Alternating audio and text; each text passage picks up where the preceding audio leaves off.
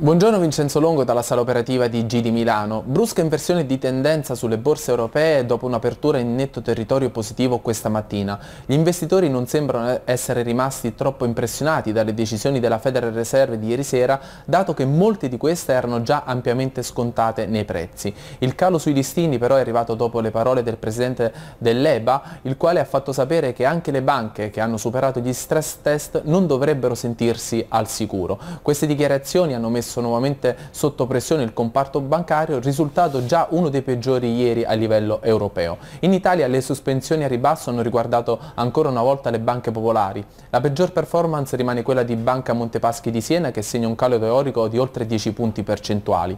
Le prospettive rimangono ancora ribassiste sul titolo, almeno fin tanto che non verrà definito il piano di ricapitalizzazione eh, entro il 10 novembre prossimo. Tra le valute recupera il dollaro statunitense verso le principali divise mondiali, dopo che nel comunicato della Fed di ieri sera non è stata fatta alcuna menzione sulla forza recente del biglietto verde come potenziale downside risk. Il mercato è stato colto di sorpresa e i forti acquisti negli, nelle ultime ore sul biglietto verde ne sono una dimostrazione. Il cambio euro-dollaro è passato dall'1,2770 di ieri a 1,2555 questa mattina, tornando così ai minimi dal, da inizio mese. Il supporto principale rimane in area 1,25 do, dove è attesa una forte reazione tecnica ma il cross oggi rimane sotto i riflettori in vista dei dati sul PIL statunitense e dell'inflazione preliminare di ottobre in Germania.